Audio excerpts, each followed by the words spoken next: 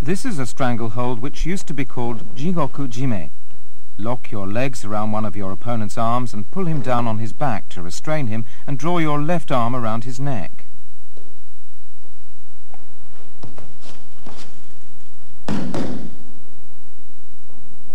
Lock his arm between your legs and roll forward to apply the stranglehold. Roll forward on your own accord as soon as you lock your legs around his arm. Besides applying pressure with both hands, you can also use your leg to make the stranglehold more effective.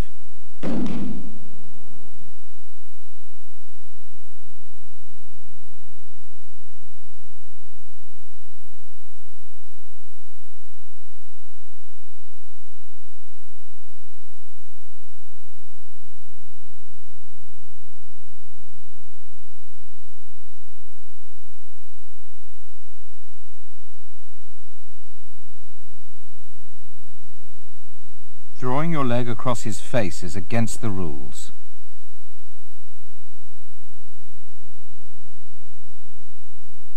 Let's take another look at the action.